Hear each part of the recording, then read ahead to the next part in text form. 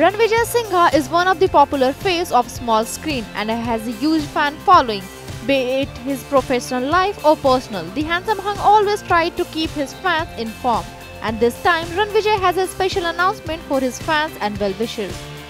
Rannvijay who tied the knot with Priyanka Vohra two years ago expecting their first child and to share his excitement, the 3am star took to Insta and posted an adorable message for his wife and wrote, I love you so much and you too, Priyanka Singha. Satyanam Vaheguru, baby mama. On the work front, Rannvijay is currently seen on reality show Splitsvilla 9.